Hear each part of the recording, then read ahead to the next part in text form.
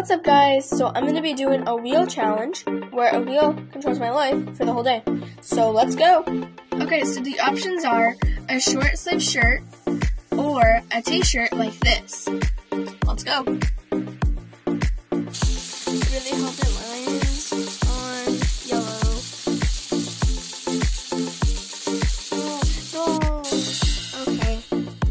Okay, so the next one is do I wear shorts or pants? I really hope I get jeans. Like, I love jeans. They're my favorite. no, no, no, no, no. Okay, so the next one is do I wear tennis shoes or Crocs? Let's go.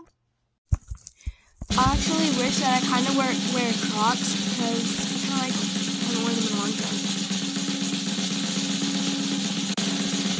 No, I gotta wear tennis shoes. Okay, whatever. Okay, so now that we got the shoes decided, now we're gonna do makeup or no makeup. So before we start the wheel, I really hope I get no makeup because I don't feel like lathering all on my face. So let's go.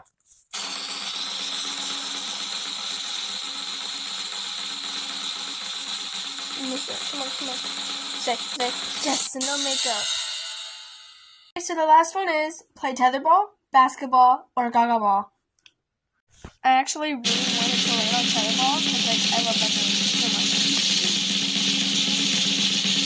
Come on, stay, stay, stay. Oh, okay, gaga ball. I like that too. Hey guys, so I just got done playing Gaga Ball, and I hope you liked the video. So tune in tomorrow for another one. Bye guys.